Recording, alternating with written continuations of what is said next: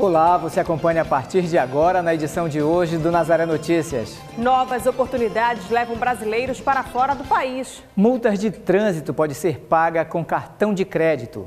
Preço dos combustíveis disparam e brasileiro protesta. Seis em cada dez consumidores fazem compras não planejadas. 80% dos brasileiros buscam alimentação saudável. O estudo é um dos aliados para quem quer fugir do subemprego. Na entrevista de hoje, vamos falar sobre qualificação profissional. Hoje é quinta-feira, 24 de maio, e o Nazaré Notícias já está no ar.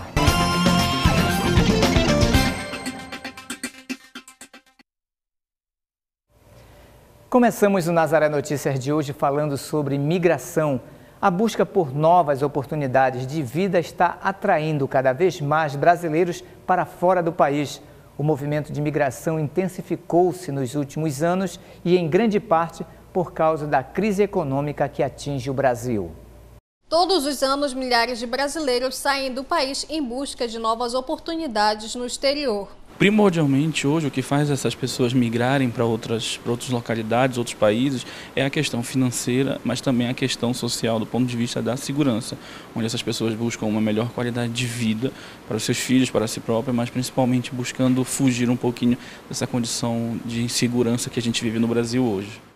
Destinos fora do Brasil são procurados todos os dias pelos brasileiros. O levantamento feito pelo Itamaraty pelo terceiro ano consecutivo apontou os Estados Unidos como um dos locais mais procurados. Cerca de um milhão e meio de brasileiros residem no país atualmente. O país norte-americano e Portugal, na Europa, são os que mais estão atraindo os brasileiros. Eu sempre viajo com a família, né, nas férias e tal porque a gente mora em cidades é, diferentes. E aí surgiu essa, essa opção de ir com os amigos, aí a gente optou por ela, sair em família com amigos. Posso elencar que seriam, seria Portugal, pela questão do idioma, obviamente, e principalmente os Estados Unidos, por todo um, um ideal que se criou, obviamente, por, pelo, pelos cinemas, da, de aquela qualidade de vida, de condições de liberdade, etc., tem possibilitado que as pessoas é, cheguem a esses países com uma maior frequência. Né? Mas aqui na América do Sul também a gente consegue contemplar ah, o Paraguai e o próprio Chile como grandes receptores desses brasileiros. Além de fazer uma viagem para conhecer o país, as pessoas buscam qualidade de vida e optam por ter uma moradia fora do Brasil. Eu vou, a gente comprou uma casa lá, nós vamos perspectiva de futuro dos meus filhos aqui no Brasil. Questão da qualidade de vida, de você ter de repente acesso a determinados serviços, acesso a determinados espaços, uma condição até mesmo de lazer que muitas das vezes não, não seria possível no Brasil e que acabam é, conseguindo obter em determinados países. Né? É, Portugal, por exemplo, é um país é, europeu, tem um, uma condição de vida, uma questão da qualidade de vida muito significativa. Então, as pessoas, aquelas, obviamente, que têm condições, elas pensam muito em migrar daqui, sei lá, de Belém, por exemplo, para Lisboa. De acordo com a Receita Federal, entre 2014 e 2016 foram entregues 55.402 declarações de saída definitiva do país, um crescimento de 81,61%. De 2011 a 2013, período que antecede a crise econômica, 30.506 pessoas entregaram o mesmo documento. No entanto, especialistas estimam que esse número seja ainda maior, uma vez que nem todos os brasileiros prestam essa informação quando vão embora. Ao sair do país, as pessoas devem entender a cultura local e se adaptar a seus produtos e serviços. A questão de, de, residência, realmente ela precisa ter, ser cidadão para poder né, residir. A questão do visto, ela vai variar em função do tempo que a pessoa for ficar. Então, se for como estudante, pode variar de um ano até quatro anos. Né? É, sempre verificar questões também de, de vacinas e etc. E saber para onde você está indo, né? conhecer um pouco da região onde você está indo, para não acontecer nenhum tipo de problema. Afinal de contas, talvez alguns costumes, alguns hábitos nossos não sejam aceitos ou compreendidos compreendidos com tanta facilidade nesse outro país. E agora vamos falar de manifestações. Segundo o mapa de interdições da Polícia Rodoviária Federal, oito rodovias federais seguem interditadas por caminhoneiros no Pará. A greve dos caminhoneiros entrou no quarto dia em todo o país. A paralisação afeta 23 estados brasileiros e o Distrito Federal. Correios suspenderam entregas agendadas e companhias aéreas pedem que passageiros se informem sobre os voos antes de ir para o aeroporto. Além disso, supermercados do Pará ficaram desabastecidos e faltam produtos como hortifruti granjeiros, segundo a Associação Paraense de Supermercados. No Pará, são duas interdições em Benevides e uma em Santa Maria do Pará, outra em Capanema, uma em Paragominas, uma em Eldorado do Carajás e uma em Marabá. Segundo a Polícia Rodoviária Federal, apenas em Santa Luzia do Pará a via está completamente fechada. Nos outros pontos, o bloqueio é parcial. Os caminhoneiros só deixam passar carros pequenos, ambulâncias e veículos com produtos perecíveis. O pagamento de multa de trânsito com cartão de crédito está mantido em todo o estado do Pará, de acordo com o Denatran. Esta semana, a medida foi suspensa pelo Departamento Nacional de Trânsito. O Departamento de Trânsito do Estado do Pará informou que o serviço de uso de cartão de débito ou crédito para pagamento de multas continua sendo oferecido aos usuários do órgão estadual. Segundo o departamento, a prática do parcelamento está prevista em norma que tem força de lei e permanece em pleno vigor em todo o Estado. As regras do benefício estão baseadas na Resolução 697 de 2017 do Conselho Nacional de Trânsito. O Departamento Nacional de Trânsito informou que a suspensão da norma que regulamentava o pagamento de multas com cartões de débito ou crédito não impedirá o parcelamento das dívidas. Assim, os órgãos e entidades que integram o Sistema Nacional de Trânsito e que já implementaram o sistema informatizado necessário à cobrança parcelada dos débitos veiculares seguirão aceitando cartões eletrônicos. E agora nós vamos falar de qualificação profissional. O atual cenário econômico no país forçou os brasileiros a buscarem novas formas de renda e qualificação. A pouca oportunidade de emprego tem feito muita gente mudar completamente de profissão. E para falar sobre esse assunto, vamos conversar com o consultor de carreira educacional, Tiago Fernandes. Não é isso, Larissa? É isso mesmo, Marcos. Tiago, a gente agradece a tua presença aqui. Desde já eu vou deixar o nosso contato para você que está nos assistindo. O nosso WhatsApp é o 988023444. Se você tiver alguma dúvida, quiser participar da nossa entrevista, você pode enviar uma mensagem para a gente. Tiago, vamos começar falando. A gente falou aqui um pouquinho de crise financeira, a busca aí por novas oportunidades. Muitas pessoas estão fora do mercado. Como é que a gente vê esses cursos técnicos hoje em dia e o profissionalizante estão realmente em alta? Exato, né? Realmente o, o mercado hoje ele vem com uma crise financeira e a gente entende que o paraense, de uma forma geral, ele busca essa recolocação no mercado. Então, o mercado mudou. Costumo dizer que vivemos na era do fast food.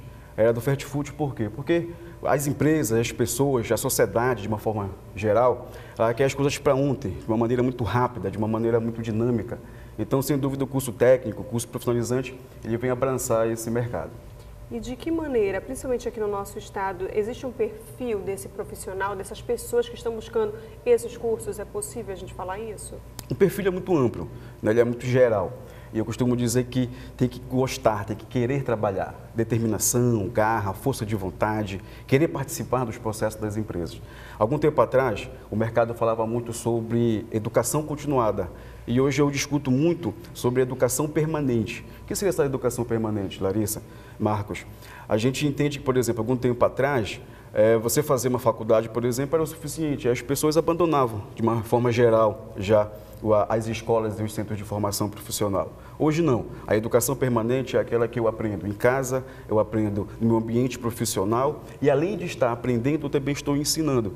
Então, com essa era do fast food, com esse dinamismo, com essa velocidade que as empresas tendem a buscar os resultados, eu entendo, nós buscamos entender que esse perfil é um perfil onde tem determinação, força de vontade e, acima de tudo, vontade de sempre buscar querer aprender novas técnicas, desenvolver novas habilidades. E, acima de tudo, ter muita atitude. Tenha atitude. Você que ouve a gente em casa, nos assiste em casa, a atitude é um processo muito importante. E existe uma, existe uma faixa etária onde a procura por cursos técnicos ela é mais afetiva? No Brasil, Marcos, hoje nós temos uma faixa de 26 milhões de jovens e que estão em busca ainda do grande sonho do primeiro emprego. Então, essa faixa etária, é, ela é muito geral. Ela vem de 16 anos até 50, 60 anos e o mercado hoje está absorvendo. Tenho certeza que se tiver algum jovem pré-adolescente me assistindo agora, de 12 anos, ele já tem essa ansiedade, 12, 13 anos, de ir para o mercado, de querer se recolocar, se colocar, melhor dizendo, nesse mercado. Então, é, hoje vem uma era muito prematura, né? as pessoas tendem de forma muito mais rápida a querer sonhar e buscar o mercado, pela necessidade, né? uma cultura que vem se instalando de começar a trabalhar de uma, de uma maneira muito cedo. E como é que, como é que está a, a, a ocupação ou a recolocação da, das pessoas com mais de 50, 55 anos até 60 neste mercado? Marco, essa pergunta é muito interessante porque o mercado ele vem mudando constantemente, né, como eu falei anteriormente. Então, hoje, o mercado está sim valorizando essas pessoas acima de 50 anos. E, principalmente, esses jovens, eu vou chamar, e porque jovem não está inerente à idade, mas sim no perfil, né? Então, essas pessoas acima de 50 anos estão buscando uma recolocação no, através do curso técnico. Por quê? Porque o mercado hoje, eu volto a falar, ele quer experiência, ele quer dinamismo, ele quer onde você possa ter um conhecimento tácito, envolvendo aquela profissão que você escolheu. Então, voltando a um tempo aí de 10 anos atrás, o mercado já come, começa novamente a absorver esse profissional acima de 50 anos. E existe uma área ou segmentos do nosso mercado, principalmente aqui na região norte, no estado do Pará, onde há mais vagas para captar esses profissionais? Hoje é muito importante nós casarmos necessidade com oportunidade né, e não trabalhar somente a motivação. Então, a necessidade hoje, por exemplo, no estado do Pará, nós trabalhamos muito com a mineração, com a indústria, no sul-sudeste do, do, do estado. Agora, na região metropolitana, Larissa, o grande foco, sem dúvida, é trabalhar na área de serviço. Por exemplo, um, um curso que está muito em alta e vem crescendo de uma forma muito abrangente é o curso de estética técnico. Por que o curso de estética, Marcos? Porque é um curso que ele tem uma abrangência muito grande. O profissional de estética ele vai trabalhar tanto na área de capilar, corporal, massagem, sobrancelha, design de sobrancelha, etc. e tal. Isso quer dizer o quê? Que é uma área que rapidamente você em seis meses de curso já consegue é, exercer a função, já, já consegue exercer algumas atividades inerentes à profissão e durante o curso já começa a pagar o curso e ter uma renda já extra. Isso, quando tu me falas nesse sentido, isso significa que o mercado da beleza, enfim, vamos colocar assim, ele está aquecido? Perfeito, né? Estética hoje atinge dois ramos, duas segmentações de mercado. A beleza, como você falou, a própria estética, e saúde. Então, hoje, cuidar da beleza, cuidar da aparência, cuidar do marketing pessoal em termos de, de, de beleza, isso é fundamental para você poder, de fato, também estar no mercado. Então, o campo de estética é o segundo mercado, é o segundo a segmentação de mercado que mais movimenta dinheiro. Nos últimos dois, dois anos, o, o Brasil movimentou mais de 7,6 milhões de reais é, nesse segmento de mercado. Então, ou seja, ele atinge tanto beleza quanto a própria estética e saúde. E outra área que a gente vê crescendo muito, principalmente aqui na região metropolitana de Belém, é a área da gastronomia. A nossa capital, ela também está com potencial para oferecer cursos profissionalizantes nessa área? Perfeito, né? Fomos escolhidos aí como o estado que tem a maior gastronomia do país, né? Isso é uma honra para todos nós paraenses, uma satisfação muito grande. E por conta disso, realmente, a nossa gastronomia hoje é muito ampla, é muito aberta, né? Nossa culinária é muito fantástica. Dificilmente alguém vem de fora e não se apaixona e não quer voltar. Nossa famosa açaí, né? E hoje diversos pratos com diversas segmentações de frutas e peixes regionais que nós temos. Isso é sem dúvida um diferencial para a nossa região. Por conta disso, né? Temos sim em Belém temos na região metropolitana, todo o estado, diversos cursos técnicos que oferecem esse, esse, essa capacitação, esse curso, né? e um curso muito bom? Porque tem uma média de 1.200 horas, isso é equivalente a um ano e meio. Então, ou seja, já que vivemos na era do fast food, as pessoas têm necessidade para ontem, então é um curso que ele vai te qualificar de uma forma muito rápida e rapidamente te colocar no mercado. E, Tiago, só para a gente pontuar, existe diferença entre o curso profissionalizante para o curso técnico? O curso técnico ele é um curso ensino médio, né, onde a gente dá um diploma, a gente dá uma, uma, uma outorga de grau, onde você vai poder exercer uma profissão, por exemplo. O técnico de segurança do trabalho.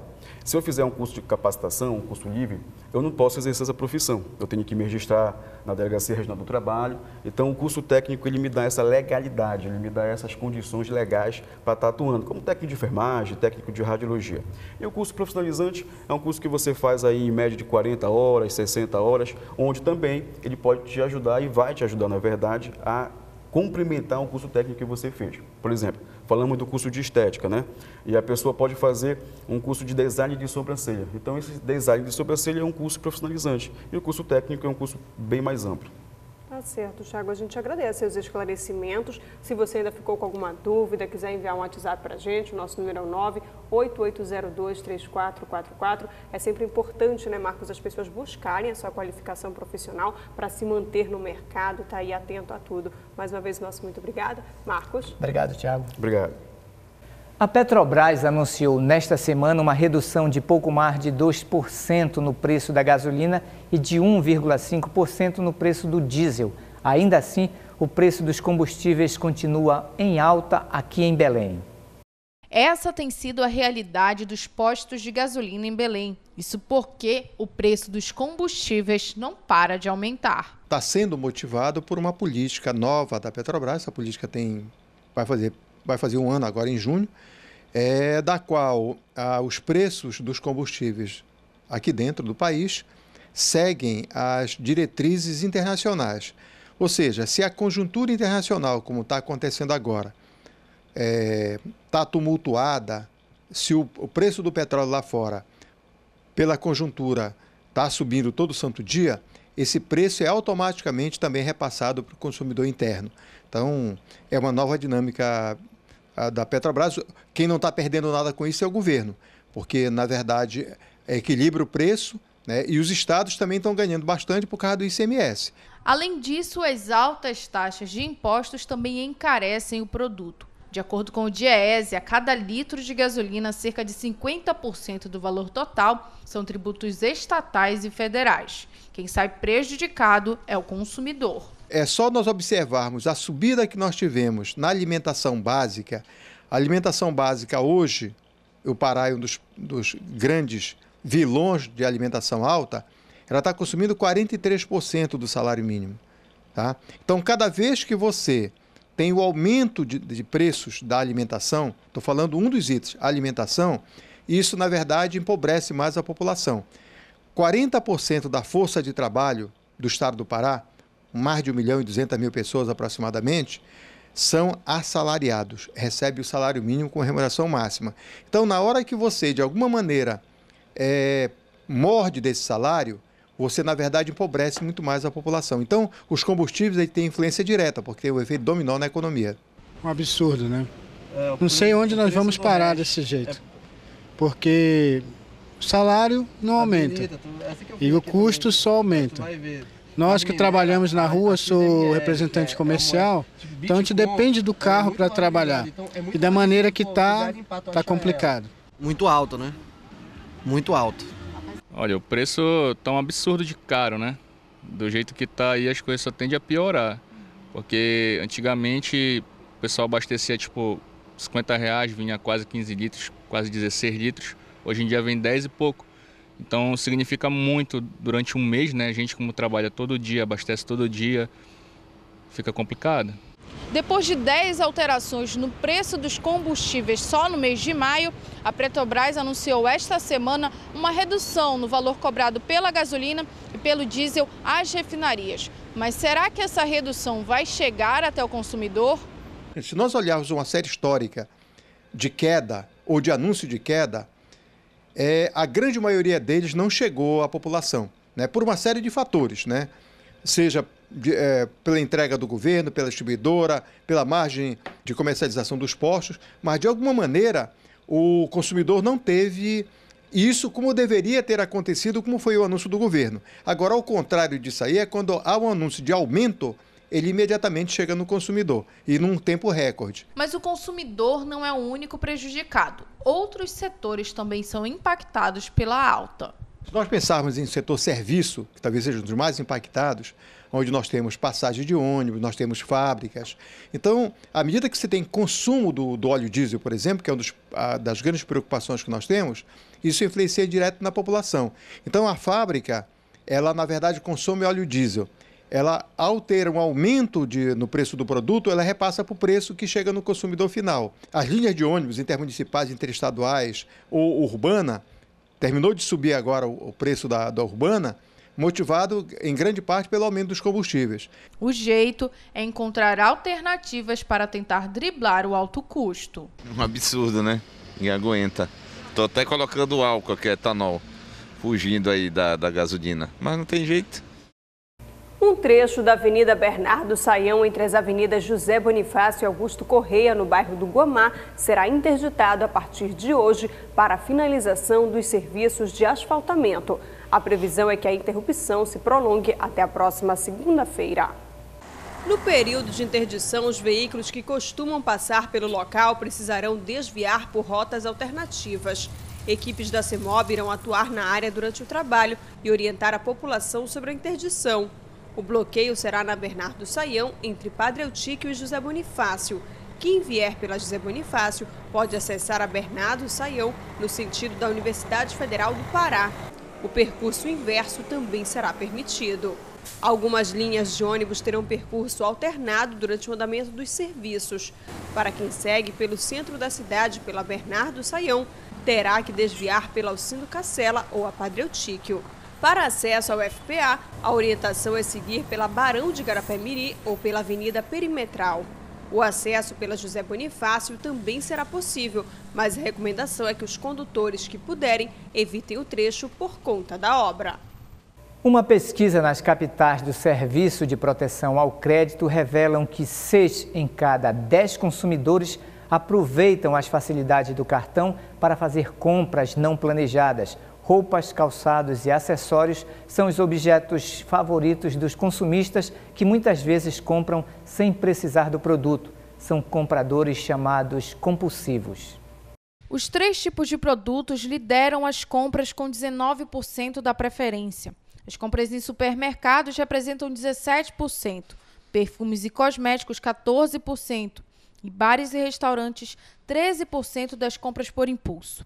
Já a compra de peças de vestuário e acessórios são feitas na maior parte pela parcela feminina, representando 23%, sendo a compra de produtos eletrônicos o destaque entre os homens, com 13%. O cartão de crédito aparece como pagamento favorito na hora de parcelar, com 66% de citações. O crediário vem em segundo lugar com 13%. Em seguida, aparece o financiamento com 4% de preferência. Já o cheque predatado foi citado por 1% dos entrevistados na pesquisa. E você pode participar da produção aqui do Nazaré Notícias. É só enviar para nós sugestões de entrevistas ou de reportagens para o nosso WhatsApp. Número é o 988023444 e aí você informa o seu nome e a sua cidade e ajude os meios de comunicação da Arquidiocese de Belém. Seja mais um e faça parte da família Nazaré. Ligue 4006-9211. E você acompanha ainda nesta edição. 80% dos brasileiros buscam alimentação saudável. O estudo é um dos aliados para quem quer fugir do subemprego. Conheça os benefícios da escola em tempo integral. Voltamos então com Nazaré Notícias e agora vamos falar sobre saúde infantil. Na Semana do Bebê, a Prefeitura de Belém instituiu o Grupo Técnico de Vigilância do Óbito e Sífilis na Gestação Congênita. A medida visa reduzir o número de óbitos entre recém-nascidos e gestantes. A maternidade é um dos momentos mais especiais na vida de uma mulher. Danúbia, que o diga. Para mim é uma coisa nova, estou aprendendo. É, às vezes a gente fica um pouco desesperada por não saber lidar com a situação, mas está sendo maravilhoso. Né? A amamentação, o bebê. Então está sendo muito bom. Para que outras mães, assim como ela, vivam essa experiência da melhor forma possível, é que foi instituído na Secretaria Municipal de Saúde de Belém o Grupo Técnico da Vigilância do Óbito e Sífilis na Gestação e Congênita. É, nós identificamos que ainda existe é, morte de mulheres gestantes e de crianças por causas evitáveis. Então, é, nós já tínhamos um grupo técnico que fazia reuniões, mas a gente queria intensificar né, não só a reunião, mas a participação de outros atores dentro, desse, dentro dessa rede de apoio, para que realmente a gente possa evitar né, essas mortes, tanto da gestante quanto as mortes materno-infantil. Mas como o grupo deve funcionar na prática? É, intensificar a questão da investigação de óbito, né, com vários atores, vigilância em saúde, atenção básica, é, alta e média complexidade, referências técnicas de STA, de hepatite virais, é, saúde da mulher, saúde da criança, núcleo de promoção da saúde, para que a gente consiga intensificar as ações né, antes da gestação, durante a gestação e pós-gestação, para que a gente realmente tenha uma comunidade é, esclarecida, a gente tenha a nossa atenção básica fortalecida para enfrentar esses problemas cotidianos e que são problemas básicos e a nossa rede hospitalar que ela também consiga receber e acolher essa gestante né, de forma adequada para que a gente realmente diminua e tenha essa parceria da gestante com a gestão. Né? Para que as equipes de saúde atuem de forma pontual, foram realizadas algumas pesquisas. Nelas foram identificadas as principais causas da mortalidade infantil e durante a gestação. Pressão arterial, que a mulher acabou não cuidando da própria alimentação em casa é, uma simples dor de cabeça que ela achava, a, a, família e a própria gestante achava que era resto de parto e tomar água inglesa sem saber realmente o conhecimento daquela dor de cabeça. E a própria sífilis congênita, sífilis na gestação que acabava ocasionando não tratando e aí tinha aborto por sífilis e outras consequências também pós-parto. Em 2016, o número de óbitos evitáveis entre crianças de 1 a 5 anos aumentou 11%, um índice que poderia ser evitado através do pré-natal. O pré-natal hoje a gente fortalece muito a questão nutricional, é, a, a, própria questão dos testes rápidos de HIV, sífilis, hepatite virais na primeira consulta, o teste de gravidez, o acolhimento dessa gestante, a busca ativa dessa gestante que falta consulta. Né? Nós acabamos. É, tinha um mito de que gestante não poderia fazer tratamento dentário e esse mito ele foi derrubado. Ela pode sim, que a gente sabe que uma simples infecção é, na gengiva ou na raiz do dente pode ocasionar coisas sérias na gestação. Foi que proporcionou a Danúbia, que mostramos no início da reportagem, uma gestação tranquila. Sim, tive todo o acompanhamento com todos os profissionais. Né? Cheguei aqui no posto, o enfermeiro, é, ginecologista, dentista, todo o acompanhamento é, para mim e depois, né, agora com o bebê. Uma pesquisa mostra que 80% dos brasileiros buscam alimentação saudável. O resultado faz parte do levantamento inédito divulgado esta semana pela Federação das Indústrias do Estado de São Paulo. A pesquisa mostrou que 8 em cada 10 brasileiros afirmam que se esforçam para ter uma alimentação saudável e 71% dos entrevistados apontam que preferem produtos mais saudáveis, mesmo que tenham que pagar caro por eles. O mesmo percentual, 71%, admite estar satisfeito com a própria alimentação. O levantamento também revelou a mudança na fonte usada como busca de informações sobre alimentação e saúde.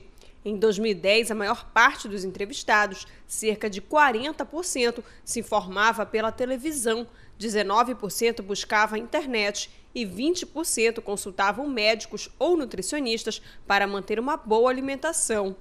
No ano passado, a internet se tornou a principal fonte de informações, com 40% da participação.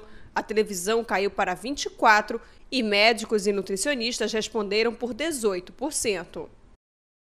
O número de pessoas infectadas por raiva humana no Pará aumentou para 5. O novo boletim que confirma a contaminação das vítimas pela doença foi divulgado pela Secretaria de Estado de Saúde Pública. Os casos foram atestados em laboratório pelo Instituto Evandro Chagas e pelo Instituto Pasteur. Cinco pessoas contaminadas e outras nove sob suspeita de raiva humana, doença transmitida por morcegos.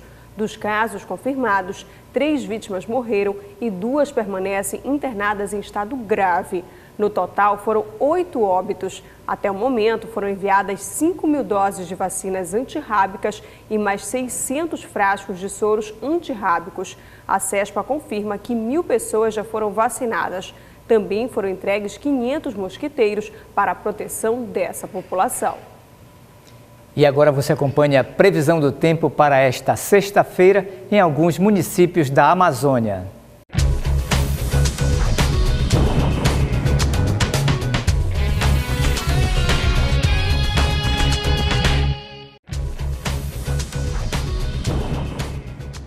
Em São Luís, no Maranhão, a sexta-feira começa com céu encoberto e ao longo do dia a chuva deve aparecer. Essa previsão deve se estender até o final de semana. A mínima prevista é de 26, com máxima de 30 graus. No nordeste do Pará, o município de Paragominas, a meteorologia prevê céu encoberto durante todo o dia. Com a temperatura baixa, não estão previstas chuvas. A mínima prevista é de 24, com máxima de 30 graus. Em Nova Timboteua, também no Nordeste paraense, o dia começa com muitas nuvens e ao decorrer do dia estão previstas chuvas a qualquer hora. A mínima prevista é de 24, com máxima de 28 graus.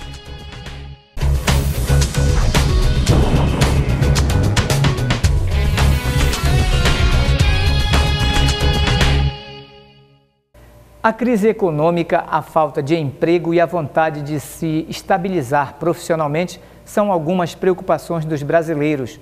O estudo é um dos aliados para quem quer fugir dessa realidade. Construir uma carreira de sucesso e planejar um futuro feliz são os desejos comuns para as pessoas de todas as idades. Embora cada um busque sonhos à sua maneira, o caminho é sempre o mesmo: a educação. Então, para isso, esse profissional ele tem que estar capacitado, não só mais com uma graduação.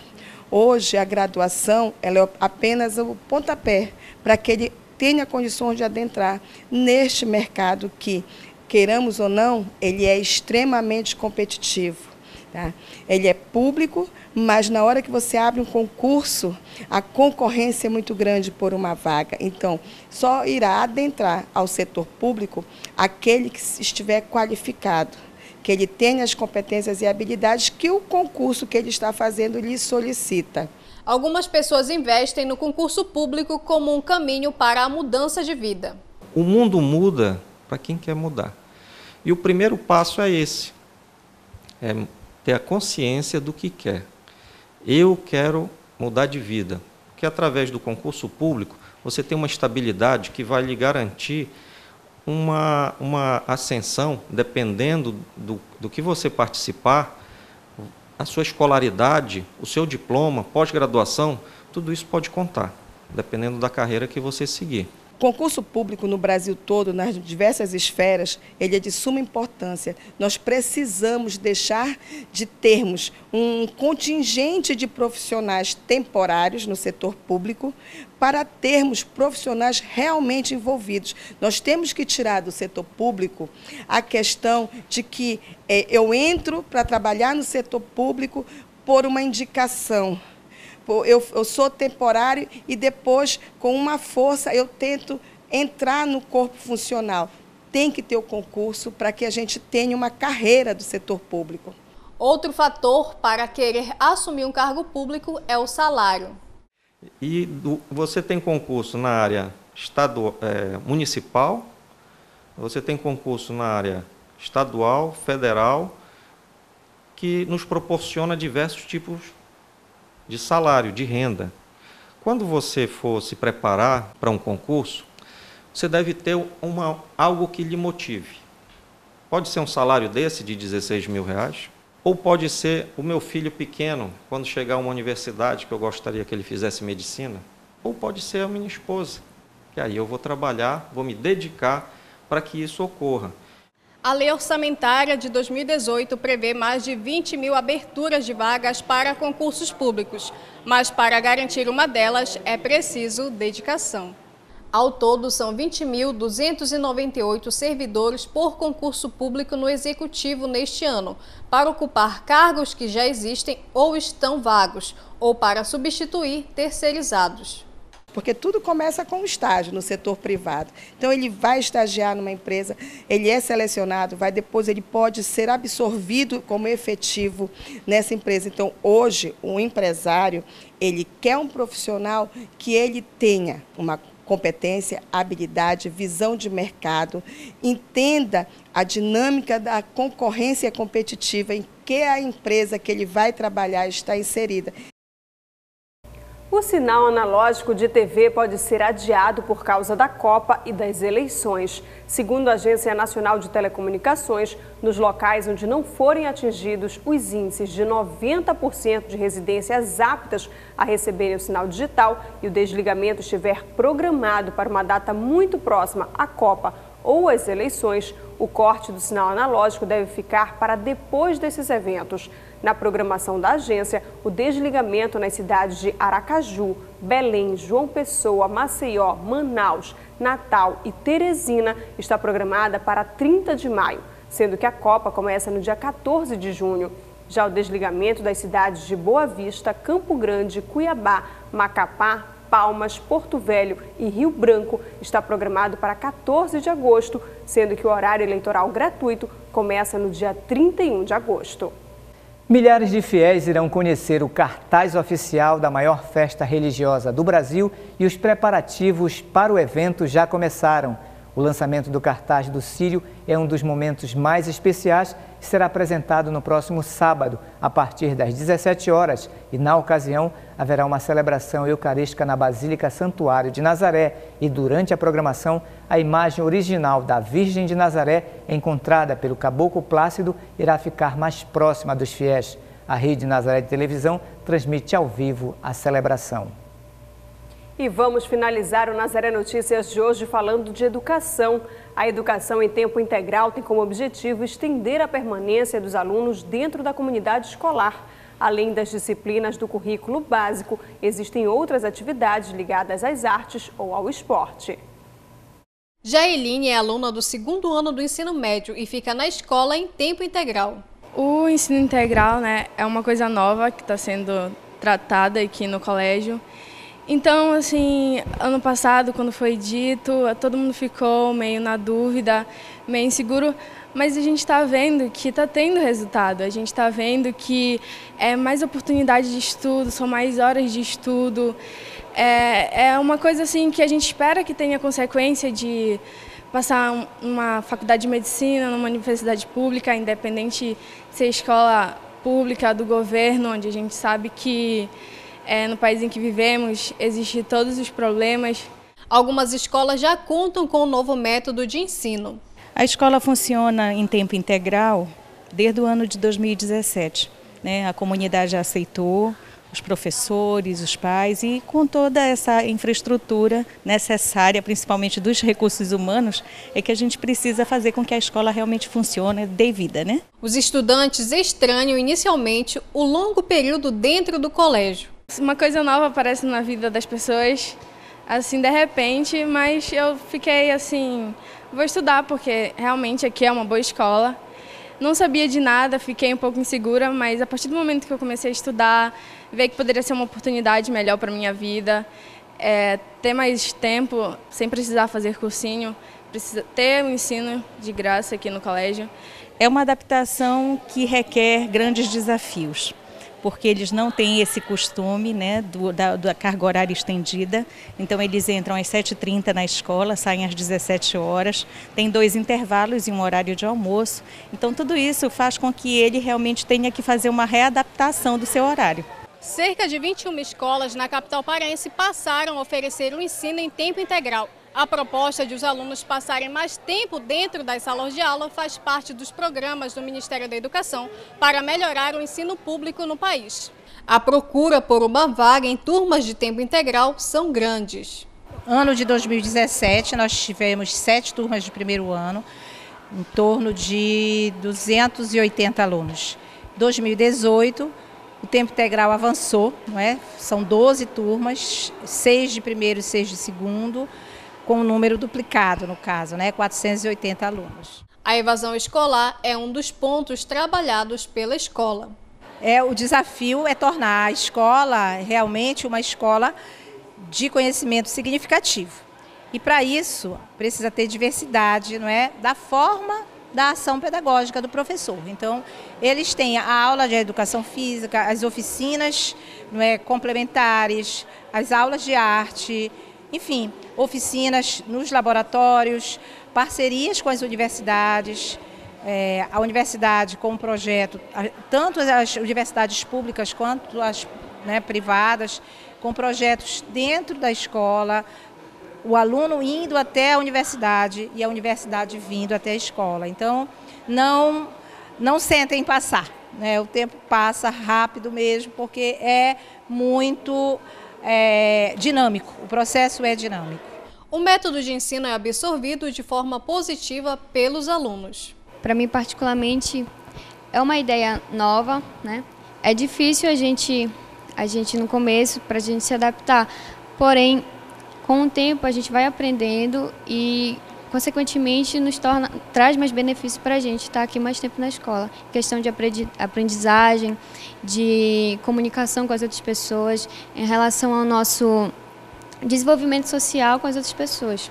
É essencial na medida em que ele promove a vida cidadã. Essa vida que eles vão precisar ter um projeto e que eles poderão resolver as suas vidas, né, de acordo com os ensinamentos que eles estão aqui promovendo. Eles constroem conhecimentos a partir das suas realidades e isso ajuda realmente para que eles tenham uma formação de qualidade, um ensino mais eficaz e eficiente para a vida deles. E essas foram as notícias de hoje. E para dar sugestões de entrevistas ou de reportagens, é só enviar para o nosso WhatsApp. Número é o 988023444. Se você quiser rever nossos vídeos, acesse o portal Nazaré www.fundacionazaré.com.br ou acesse a nossa página no Facebook. Ajude os meios de comunicação da Arquidiocese de Belém. Seja mais um e faça parte da família Nazaré. Ligue 4006-9211. E o Nazaré Notícias de hoje fica por aqui. A gente se encontra amanhã na próxima edição. Até lá. Até lá.